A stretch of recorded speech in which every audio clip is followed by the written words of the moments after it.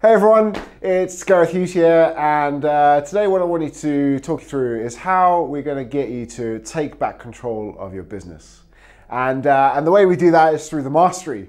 So uh, what we're going to do is we're going to roll the intro, and then we're going to get back to it.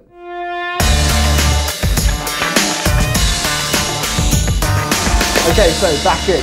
Uh, so this whole level of mastery is fundamental to building a business. The amount of business owners that I speak to, uh, who when we first start working together, they want to work on the sales or the marketing or the team, uh, which is all great stuff. We can do that as well.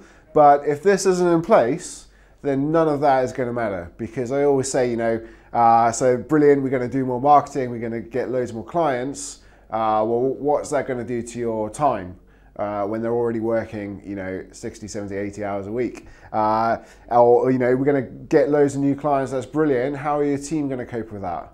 Well, they're not, okay? What's that going to do to your margins? Well, actually, I don't know what my margins are. Right, well, let's start down the bottom. And it kind of makes sense, really, because uh, you wouldn't build a house without putting in the foundations. And these are the, just the foundations to the house. Uh, so we want to put these in place first and then we want to build the house. We're going to start with destination mastery. Why do we start here? Well, I always say to people, you've got to start with the end in mind. Uh, so what does that mean for you? Well, what I want to know is what does your business look like when you're finished? And when is it going to be finished? Like give me an actual date that your business is going to be finished and it's going to run without you. Because remember, when we're doing all of this, what we're trying to create is a commercial profitable enterprise that works without you because otherwise you may as well just go get a job. So what date, what physically, what date is your business finished? And what does it look like? What's the turnover? How much staff have you got? Uh, what are you doing in the business? Are you able to take holidays? What? So give me the date that is finished and what it looks like. The reason why we do that is because clarity leads to focus. So amazing the power of a date. Uh, when you set a date on a goal, uh, makes it 100 times more likely that you'll succeed and you'll actually achieve that goal simply by putting a date on it. So I don't care if that date is five years in the future or 10 years in the future or 20 years in the future, but give me a date. Uh, and make sure that everybody knows that as well. Tell, tell your wife or your husband, uh, tell your family that that's what's going to happen. Uh, so make sure that you're starting with the end in mind. And if that means that your business needs a CEO, then that's brilliant. But put that onto the organizational chart. If that means your business needs a marketing department, brilliant. Put that onto the organizational chart. That's fantastic. When you're doing your goals, make sure they are big goals. You know, there's a saying that we have in action, which is if your goals don't scare you and excite you at the same time, then they're not big enough. So with your goals, swing for the fences and make sure that they're big and make sure you have to grow into that person in order to fulfill them. If it's a goal you can achieve just uh, as you are, the person you are, then it's not big enough. Remember, your goal has to enroll and inspire other people. They have to get behind you, not only your team, but your clients and your customers as well, because they want to be part of something bigger. They want to be part of the dream. So make sure you plaster it everywhere. Your customers know what the goal is, your clients know where you're going, but most importantly, your team knows where you're going. And I've got a bit of homework for you in a minute. So when we're setting goals, there's three types of goals that we want to look at. And the first one is a negative goal. And the best way to illustrate this is uh, the frog and the hot water. If you haven't seen that video, uh, jump on YouTube and uh, go and grab it. Uh, and essentially it's this. If you put a frog into hot boiling water, then it jumps straight out. But if you put it in cold water and you heat up the water, then it slowly dies. And it's the same with the goals. If you pick a goal, which is a negative goal, i.e., it's an away from goal. Uh, so, for example, that might be I don't want to work 80 hours a week. Well, guess what happens? You start working 80 hours a week, right? So, if you pick an away from goal, chances are you set your mindset in order to achieve that. That's not what we want to do. So the next goal is a positive goal, and this is a towards goal.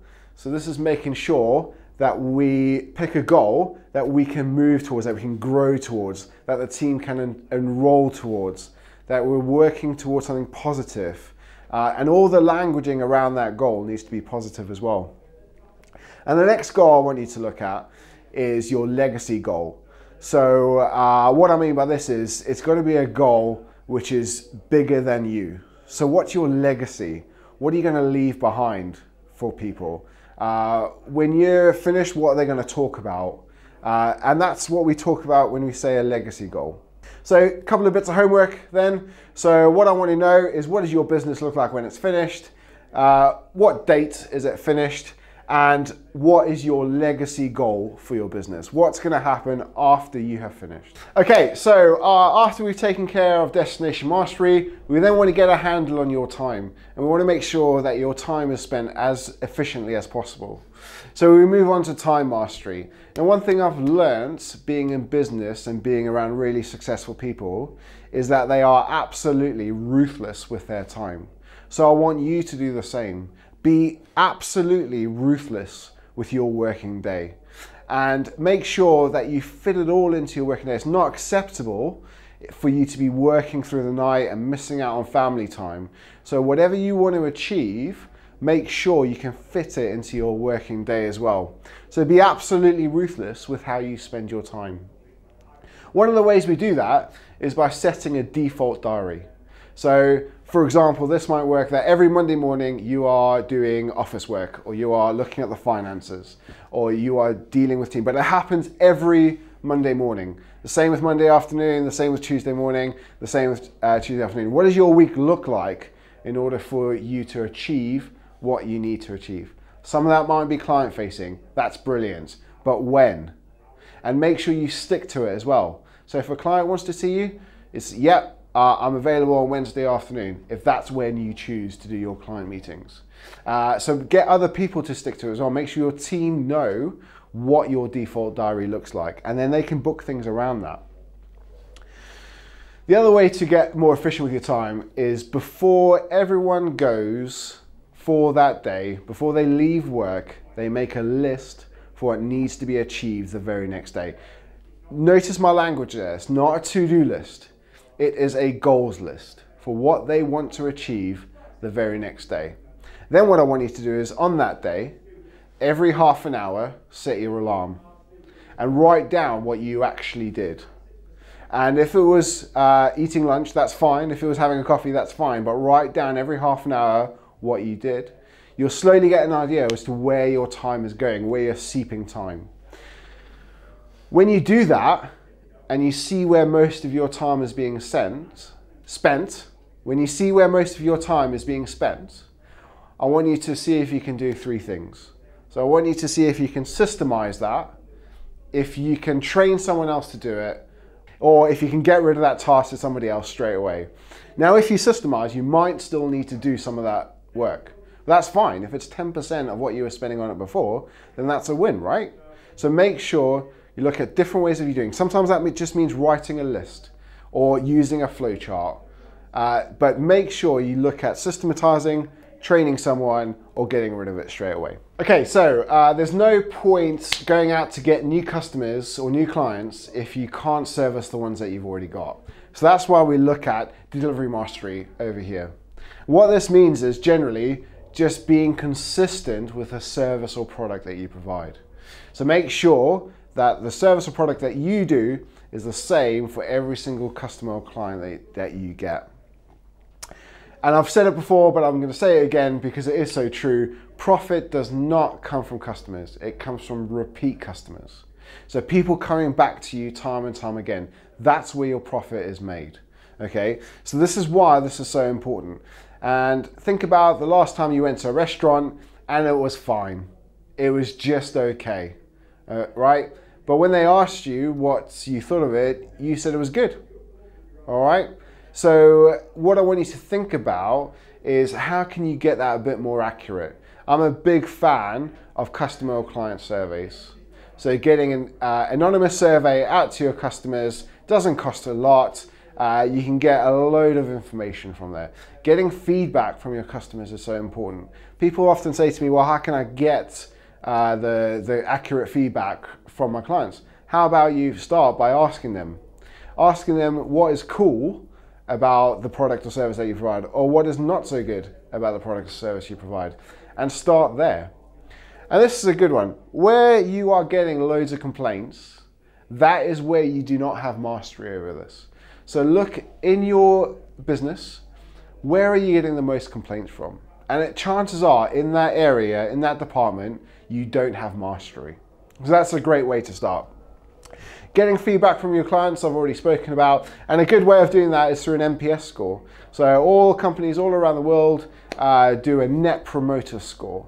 And that gives you a really good, accurate measure as to where you sit in the marketplace. Okay, so we've looked at destination mastery, so looking at where you're going, uh, time mastery, so getting control of your time, uh, making sure it's as efficient as possible. And remember I said be as ruthless as you can with your time.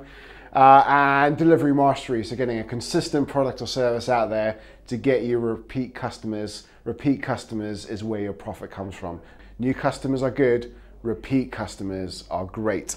So the final area we're going to look at is finance mastery. So uh, the amount of business owners I speak to who they've got a little bit of handle on the numbers, uh, but actually what happens is their accountant just talks to them every quarter and uh, they really don't know where they are with the numbers.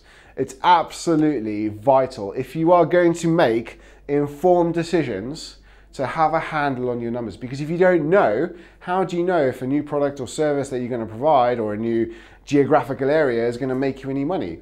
You can't make that decision. So getting a handle on your numbers is absolutely key. The first thing I want you to do, so this is your first bit of homework from this video, is to get an idea of your fixed costs. And what that does is it works out your break even point. That's brilliant if that's a great starting point for you. But what I want you to do is a bit more than that. So I want you to work out your profit break even. So whatever your fixed costs are and your break even point, work out how much profit you want to make anyway and add that on to your fixed costs so that you know exactly when you make a profit. And that's another thing to work out is at what point in the month or week do you make a profit? Do you start to make a profit? And you can get really granular with this as well. Because you can say, so at what point during the day do I want to have made a profit by? Every sale after two in the afternoon, that's all profit. All right, that's a great place to get to, okay? So try and work that out, try and get as granular as you can. Then I want you to have three bank accounts, not just the normal one that every business has. I want you to have three or even more if you can. But start with three. So you're going to have an operating account, and that's brilliant. Uh, this is where all your money gets paid into and where you sort out your finances from. Then you're going to have a tax account. So every bit of tax that you collect, every bit of VAT that you collect, goes straight into the tax account. Do it twice a month on the 11th and the 25th of the month, okay? And that money gets transferred straight into account, a, a tax account. What that means is there's no surprises when uh, you get a call from HMRC or it's the end of the tax uh, period. You know exactly what you've got, okay? And there's no surprises. 20% of everything you earn goes straight into the tax account. Then I want you to, whatever profit you want to earn, whatever you want to pay yourself, that goes into the profit account. And that is yours. And try and make sure that you're doing that first. So pay yourself first. Uh, there's a great book called Profit First. Read it and advocate exactly this. So make sure you are paying yourself first. Everything else comes secondary because that's why you went into business in the first place. Okay? So open up three bank accounts an operating account, a tax account, and a profit account. Once you start to get a handle on your numbers, you'll be able to start making informed decisions about where your business is going, linking back to the destination mastery. That's the four areas of mastery that I want you to go through. Hopefully you've got some good action points. Hopefully you've got some good homework and you're going to start taking back control of your business. So it would be great to know your thoughts on this. If you've liked it, hit the thumbs up. Uh, it'd be great to see you again. Look out for the next video coming soon. Make sure you subscribe. Bye.